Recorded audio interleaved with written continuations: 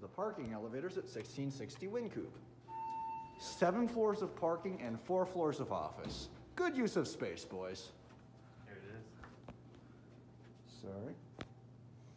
If these are hydro, I will be very mad. I highly doubt they'll be hydro. I don't know. We'll see. Door closed. Are you fucking kidding me? Oh. Why? Are you kidding me? Yeah, let's make the low rise hydro and the high rise traction. That makes sense. For seven floors, Sure, yeah, fuck it, why not? the highest of Duralic. Seriously, most more like the most disappointing of Drolic. Yeah. Heck, they do have the white buttons. I'd like to have a little discussion with. Oh, the other ones had the orange buttons. Yeah. Man. The old one up there.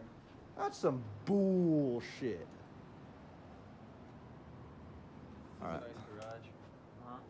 I'm gonna get my fixture picture. Fixture, fixture. There's the indicator. Or the lamp.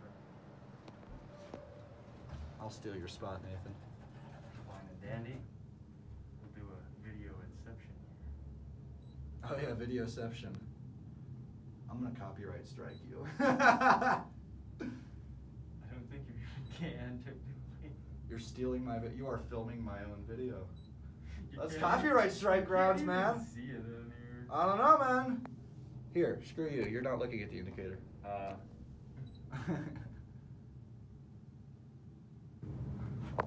You're violating my rights to my intellectual property, and I feel violated right now.